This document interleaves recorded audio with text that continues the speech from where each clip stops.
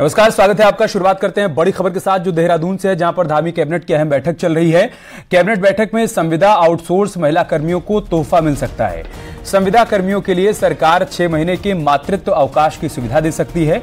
इसके साथ ही राज्य आंदोलनकारियों को 10 फ़ीसदी आरक्षण देने का प्रस्ताव भी आ सकता है। वहीं supplementary budget, service sector policy, pump storage policy पर भी कैबिनेट की बैठक में मुहर लगाई जा सकती है। तो बहुत जल्द मानसून सत्र की शुरुआत होने वाली है और इससे ठीक पहले कैबिनेट की बैठक बहुत अहम मानी जा रही है, जिसमें अलग अलग मुद्दों पर चर्चा हो रही है। हमारे सहयोगी सुनील प्रभात इस वक्त हमारे साथ जुड़ चुके हैं। सुनील, आपके पास क्या जानकारी, क्या अपडेट है बैठक को लेकर? देखिए अमित कैबिनेट मीटिंग अभी चल रही है। साढ़े बारह बजे से कैबिनेट मीटिंग शुरू हुई थी।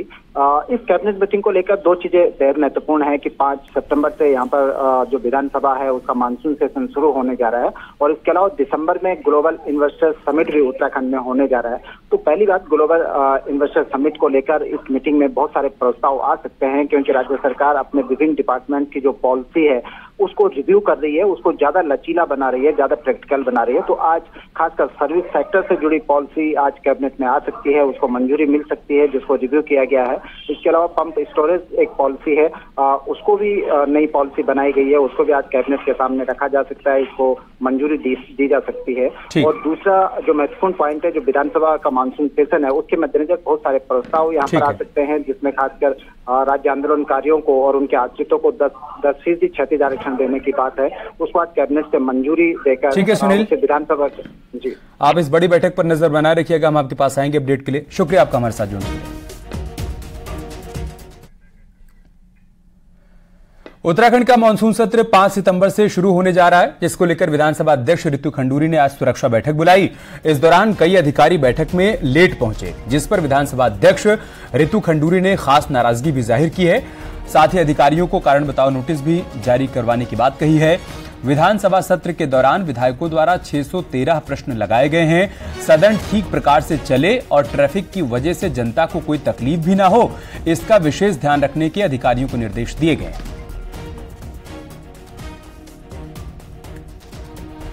उसमें डिस्कशन हुआ कि किस तरह से सुचारू रूप से हम सदन को चला सकें, किस तरह से सिस्टम्स प्लेस पर हो चाहे पानी हो बिजली हो अनेक सुविधाएँ हो पासेस में कौन अंदर आ पाएगा किस तरह के पासों का पास जो है उनका वितरण होगा। जी समय से पहुँचना चाहिए और ऑफिसर्स को तो बिल्कुल समय से पहुँचना चाहिए। पाँच मिनट पहले ही पहुँचना चाहिए। बहुत अहम बैठक होती है सुरक्षा की बैठक अहम होती है और इसीलिए सभी को बुलाया भी जाता है। और मुझे खेद है कि कुछ लोग देर से पहुँचे। चेतावनी जारी की जाएगी ऐसे लोगों को? बिल्कुल जाँच की जाएगी उसके बाद उन, उनके बारे में लिखा भी जाएगा। इधर बागेश्वर विधानसभा उपचुनाव में सियासी दल हर तरह के हथकंडे भी अपना रहे हैं।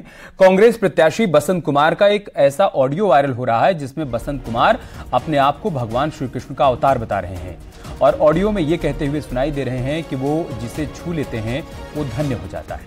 उन्होंने ये भी कहा कि भगवान कृष्ण और गौतम बुद्ध के बाद ग्यारहवां अवतार हूँ मैं। बीजेपी की सोशल मीडिया टीम ने इस ऑडियो को अब नया मुद्दा बना लिया है। हालाँकि न्यूज़ 18 इस बात की पुष्टि नहीं करता है कि ऑडियो कांग्रेस प्रत्याशी बसंत कुमार का ही है।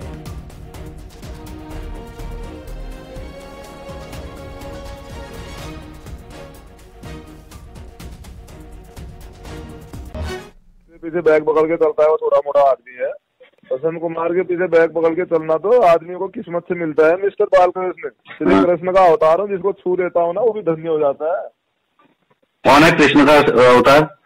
मैं हूँ। बाप रे अपने आप को भगवान मानने लग गए तुम। हाँ फिर? गौतम बुद्ध का अवतार हूँ। हाँ। ग्यारहवा अवतार पैदा हो गया है धरती पे पता है तुमको? और आज खटीमा गोलीकांड की बरसी भी है। खटीमा के शहीद स्थल में शहीदों की याद में कार्यक्रम का आयोजन किया गया। इस दौरान सीएम पुष्कर सिंह धामी ने शहीद राज्य आंदोलनकारियों को श्रद्धांजलि अर्पित की। इसके साथ ही केंद्रीय राज्य मंत्री अजय भट्ट ने भी शहीदों को नमन किया। सीएम धामी ने कहा कि एक सितंबर का दिन कभी नहीं भुला जा सकता है। जब निहत्थे आंदोलनकारियों पर पुलिस ने गोलियाँ चलाई थी और अलग राज्य की मांग करने वाले आंदोलनकारी शहीद हो गए थे, उनकी शहादत की देन है कि आज उत्तराखंड अलग राज्य के रूप में सबके सामने है और विकास के नए कीर्तिमान भी रच रहा है।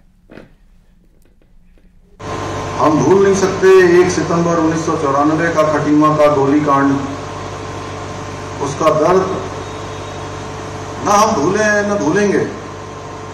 किस प्रकार से शांतिपूर्वक आंदोलन करने वाले हमारे आंदोलनकारियों के ऊपर किस प्रकार से यहाँ पर गोलियाँ चलाई गई, किस प्रकार से बर्बरतापूर्वक लाठीचार्ज किया गया और सात लोग शहीद हुए। आज का दिन ये कोई हमारे लिए खुशी का दिन नहीं है। आज का दिन हमें उन सब का स्मरण कराता है कि कितनी कठिन स्थितियों में, कठिन परिस्थितियों में ये राज्य हमको प्राप्त हुआ है। और जो हमारे सातों शहीद हैं निश्चित रूप से उन्होंने अपना सर्वोच्च बलिदान देकर हमारे राज्य निर्माण का जो मार्ग है, वो मार्ग उन्होंने प्रशस्त किया। और ये कसक हमारे दिल में है, हमेशा रहेगी कि हमने अपने अलग राज्य के लिए पुलिस के अत्याचार को सहा, अपने बीच के, अपने स्नेही जनों को, अपने पारिवारिक जनों को हमने खोया है। ये कोई साधारण बात नहीं है, ये असाधारण बात है। अभी आज देखिएगा कि राज्य की नींव में हमारे ये शहीद हैं। ये शहीद नहीं होते, मसूरी में शहीद नहीं होते। ये राज्य और देरी से मिलता, दूर तक मिलता। कुमाऊं में हल्द्वानी अल्मोड़ा नेशनल हाईवे एक बार फिर से बंद हो गया है। क्वारब पुल पर पहाड़ी से भारी मलबा आने के चलते यह रास्ता बंद हुआ है, जिसकी वजह से हाईवे बाधित हुआ है। फ़िलहाल नेशनल हाईवे पर आवाजाही पूरी तरीके से बंद है। वहीं हाईवे बंद होने से यात्रियों को भारी दिक्कतों का सामना करना पड़ रहा है।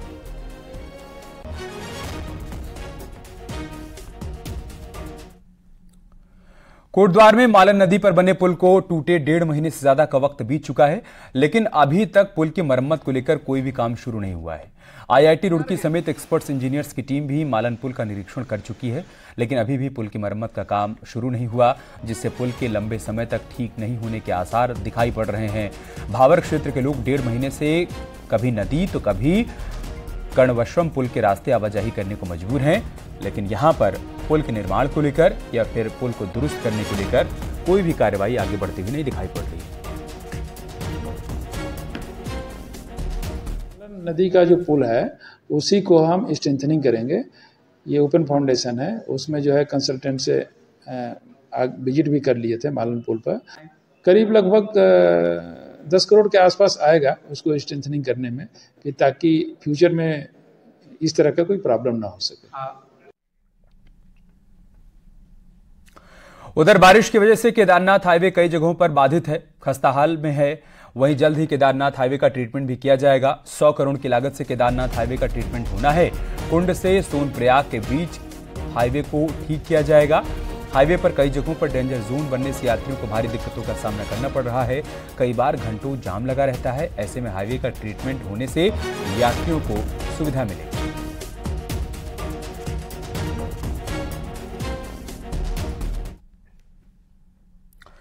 पहाड़ों में बारिश से फ़िलहाल राहत मिल रही है लेकिन इस बार मानसून की बारिश में जोशीमठ नगर क्षेत्र में काफ़ी नुकसान भी हुआ है। बारिश से सबसे ज़्यादा नुकसान सड़कों को पहुँचा है। बद्रीनाथ नेशनल हाईवे जो नरसिंह मंदिर से गुजरता है वो पिछले 40 दिनों से जगह जगह भूस्खलन की जद में आ गया है। इस सड़क से बद्रीनाथ धाम और हेमकुंड जाने वाली यात्रियों की गाड़ियों की आवाजाही होती है। वहीं रोड खराब होने के चलते मुख्य बाजारों में जाम लग रहा है और लोगों को काफ़ी परेशानियों का सामना करना पड़ रहा है।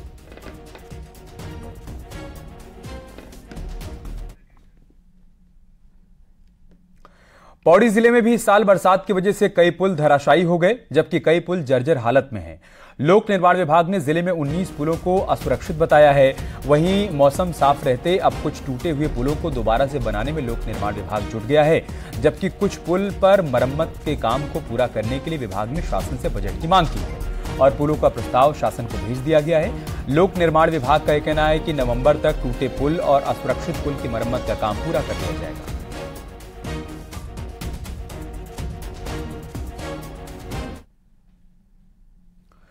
ऋषिकेश के आसपास के इलाकों में लगातार हाथी का आतंक बढ़ता जा रहा है। ये ताज़ा मामला डोईवाला के माजरी ग्रांट शेरगढ़ का है, जहाँ पर हाथी रात को अपने बच्चों के साथ घूमता हुआ नज़र आया। वहीं स्थानीय लोगों ने वन विभाग को लापरवाही का आरोप जिम्मेदार बताया है। लोगों का कहना है कि हाथियों के आतंक को रोकने के लिए वन विभाग को कोई ठोस कदम उठाना चाहिए, लेकिन फ़िलहाल ये प्रयास वन विभाग की तरफ़ से नहीं हो रहा है।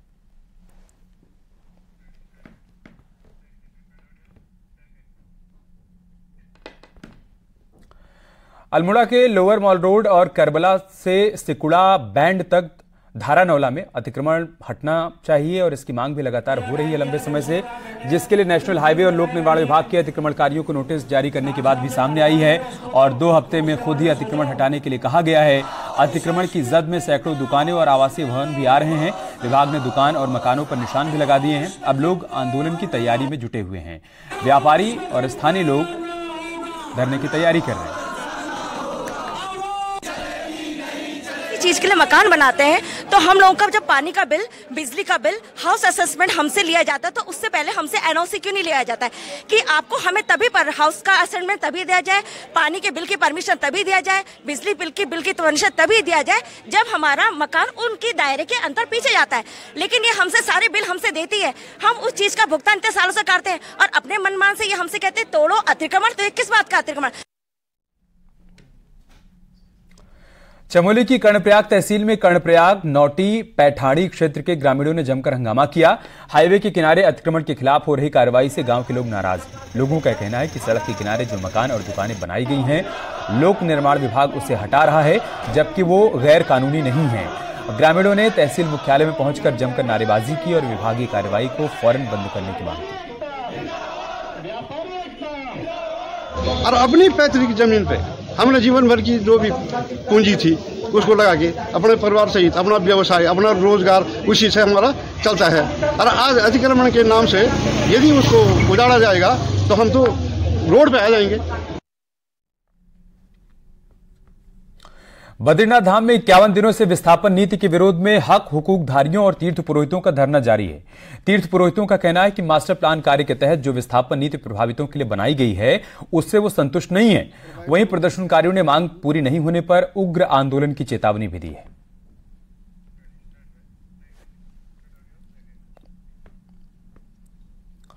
टिहरी के भरपूरिया इलाके में गुलदार के आतंक से लोग दहशत में हैं। 26 अगस्त को आँगन में खेल रहे बच्चे को गुलदार ने अपना निवाला बना लिया था, जिसके बाद गुलदार को मारने के लिए टीम क्षेत्र में तैनात कर दी गई है। लेकिन ट्रैप कैमरा में गुलदार के लोकेशन नहीं मिलने के चलते टीम अभी भी गश्त कर रही है और गुलदार के आतंक से लोग दहशत में हैं।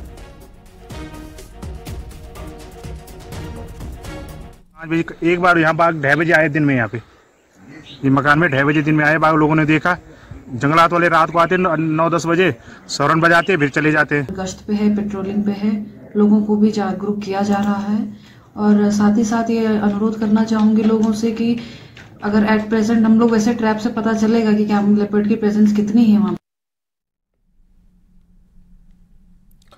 उत्तराखंड में लगातार डेंगू के केस बढ़ रहे हैं। उत्तराखंड के पाँच जिलों में डेंगू की मार ज़्यादा है। राजधानी देहरादून ही डेंगू के करीब 500 मामले यहाँ पर सामने आ चुके हैं।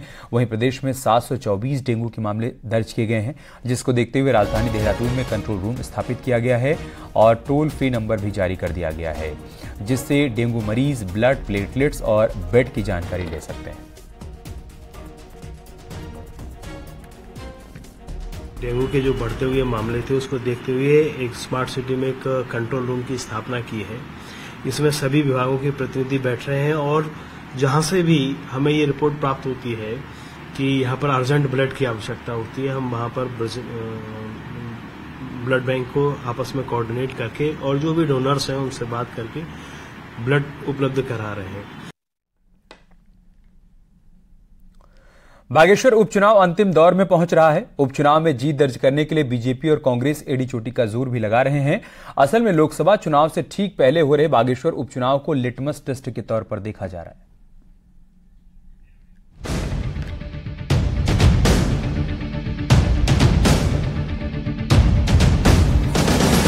बीते विधानसभा चुनाव में अल्मोड़ा लोकसभा से कांग्रेस ने सबसे अधिक सीटें जीती थी। ये लोकसभा पहाड़ की इकलौती ऐसी लोकसभा थी जहाँ कांग्रेस के चौदह में से पाँच विधायक चुने गए थे। ऐसे में इसी लोकसभा क्षेत्र में हो रहे बागेश्वर उपचुनाव को लेकर बीजेपी और कांग्रेस दोनों ने पूरा ज़ोर लगा दिया है। बीजेपी की पूरी कोशिश है कि उपचुनाव कमल के नाम कर जीत के सिलसिले को यूँ ही लोकसभा चुनाव तक बरकरार रखा जाए। देखिए, चुनाव तो चुनाव होता है चुनाव चुनौती भी होता है। लेकिन सकारात्मक ये है कि राज्य सरकार बहुत अच्छा काम कर रही है। और चंद्र राम जी का अपना जनाधार काफ़ी है और जन जन के प्रिय नेता है रहे हैं वो। आ, उनकी पत्नी को टिकट दिया है। विधानसभा की गणित को देखा जाए तो बागेश्वर उपचुनाव के नतीजों से न तो सरकार की सेहत पर कोई फ़र्क पड़ना है न ही विपक्ष को बहुत कुछ हासिल होना है। फिर उपचुनाव के नतीजों का अल्मोड़ा लोकसभा सीट पर सीधा असर पड़ना तय माना जा रहा है। कांग्रेस अगर बागेश्वर उपचुनाव को अपने नाम करती है तो लोकसभा चुनाव के लिए उसकी राह कुछ आसान तो होगी ही, साथ ही पार्टी वर्कर भी जोश से लबरेज हो सकेगा।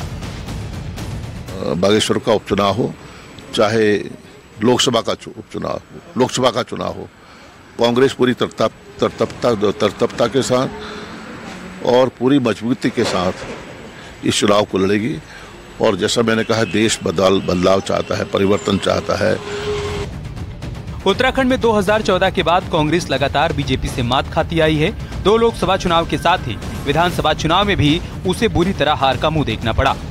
ऐसे में अब कांग्रेस किसी भी तरह जीत का स्वाद चखना चाहती है, लेकिन बीजेपी की मज़बूत किलेबंदी कांग्रेस की राह का सबसे बड़ा रोड़ा है। न्यूज़ 18 के लिए किशन जोशी के साथ विजय वर्धन उप्रेती की रिपोर्ट। इधर सैन्य कल्याण और कृषि मंत्री गणेश जोशी कुमाऊं के दौरे पर हैं। गणेश जोशी ने बागेश्वर उपचुनाव में बीजेपी की एक तरफा जीत का दावा भी किया। गणेश जोशी ने दावा किया कि बागेश्वर में 6000 से अधिक पूर्व सैनिक बीजेपी के साथ हैं। मोदी सरकार ने पूर्व सैनिकों को अभी सुविधाएँ दी हैं और सभी सुविधाएँ जो सरकार की तरफ़ से दी गई हैं, उनका फ़ायदा, उसका लाभ भी उनको मिल पा रहा है। दामी सरकार लगातार प्रदेश में जनहित के काम कर रही है। लिहाजा उपचुनाव में बीजेपी की बंपर जीत तय। मैं दावे के साथ कह सकता हूँ, जिस प्रकार सैनिकों का भारतीय जनता पार्टी के प्रति लगाव है, और चाहे हमारी दिल्ली की सरकार हो ओ आर ओ पी लागू किया तो देश के प्रधानमंत्री नरेंद्र मोदी जी ने किया, और हमारे मुख्यमंत्री जी पुष्कर सिंह धामी जी ने, जितने अभी हमारे गारंटी अवार्डीज है, इनकी पुरस्कार राशि को कई गुना बढ़ा दिया है। सोशल मीडिया पर लाइक और कमेंट पाने के लिए आपत्तिजनक पोस्ट करने वालों को हरिद्वार पुलिस ने सख्त चेतावनी दी है। पिछले दिनों हरिद्वार में सोशल मीडिया पर सांप्रदायिक और आपत्तिजनक पोस्ट किए जाने के अलावा किसी की निजता भंग करने जैसी कई पोस्ट करने का मामला सामने आया था। जिस पर पुलिस की ओर से थानों में मुकदमा दर्ज करते हुए कार्रवाई भी की गई है। एसएसपी अजय सिंह ने सख्त हिदायत देते हुए कहा है कि लोगों को सांप्रदायिक भावनाएँ आहत करने वाली और आपत्तिजनक पोस्ट करने से बचना चाहिए। करते हैं या पोस्ट करते हैं कोई भी चीज़ स्पष्ट निर्देश है कि कोई भी धार्मिक भावना, कोई भी जातिगत भावना, विदेश फैलाने की भावना या राष्ट्र विरोधी कोई भी बात कहने पर इसमें सख्त माननीय उच्चतम न्यायालय के भी इसमें आदेश प्राप्त हो गए जिससे पुलिस मोटर्स में केस दर्ज करा रही है। हाल फ़िलहाल में खटीमा गोलीकांड की आज बरसी है। नैनीताल में भी आंदोलनकारियों ने शहीदों को श्रद्धांजलि अर्पित की और शहीदों को याद किया। इस दौरान कार्यक्रम में मौजूद आंदोलनकारियों ने कहा कि आज तक उन लोगों को सजा नहीं मिल पाई है जिन्होंने 1 सितंबर साल उन्नीस सौ चौरानवे को निहत्थे लोगों पर गोलियाँ चलाई थी।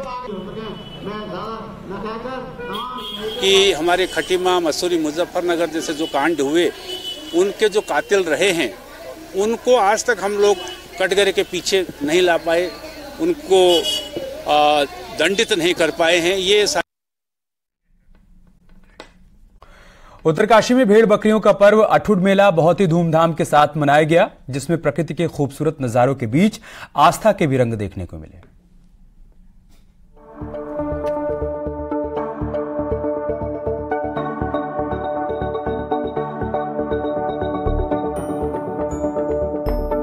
उत्तरकाशी के सीमांत गाँव पाली में आठ साल बाद भेड़ बकरियों का पर्व अठुड मेला बड़े धूमधाम से मनाया गया।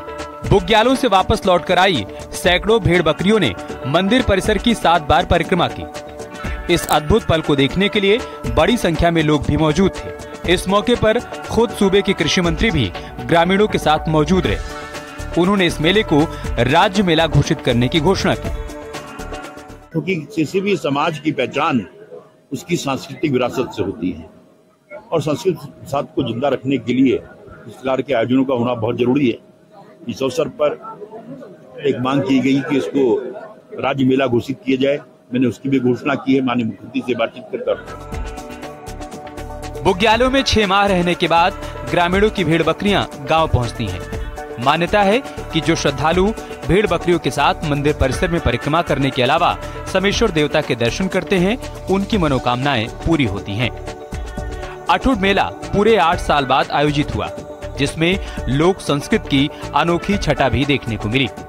और इस दौरान ग्रामीण भी भक्तिमय माहौल में जमकर झूमते नज़र आए। ये हमारा बहुत पौराणिक मेला है, जो समेश्वर महादेव के उससे मनाया जाता है।